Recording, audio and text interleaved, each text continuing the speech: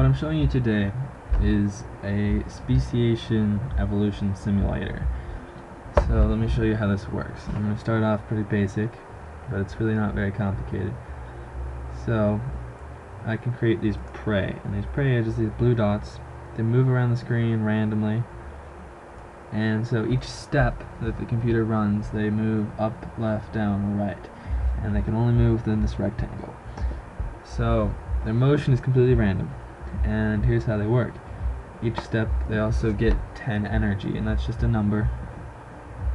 And it just represents them eating getting food. They're just a generic prey species. So also when the prey run into each other they lose energy. And that's simulating competition for resources or there's not enough food.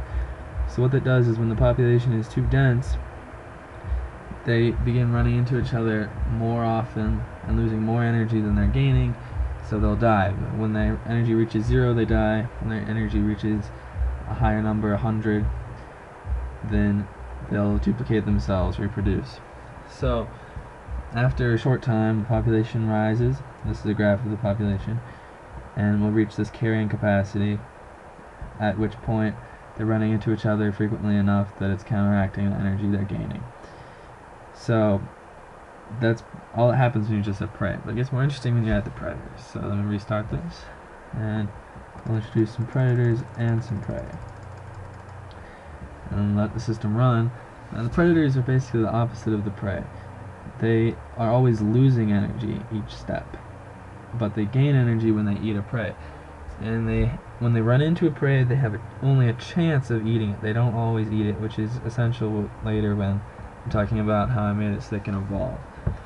In this version, they are not evolving, however.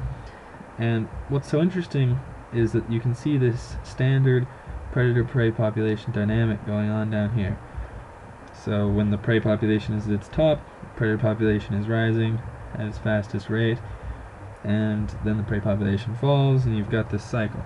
And I did not program any equations into this. Like there's a lot of equations people have made to simulate or show this this population dynamic, but I did not program any of those. Instead, this is arising just due to the nature of the randomness here and the patterns that arise from how I made this random system. And so it actually correlates to a real world thing. So next I'm going to show you the version where there's actually evolution.